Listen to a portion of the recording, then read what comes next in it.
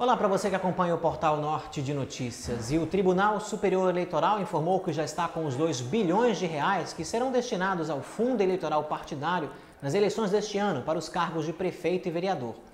Esse valor é fruto dos meus e dos seus impostos. Este ano, inclusive, os parlamentares não abriram mão de utilizar esse dinheiro quando foram questionados se essa verba poderia ser utilizada no combate ao novo coronavírus. Eu sou o João Lisonete do portal Norte de Notícias.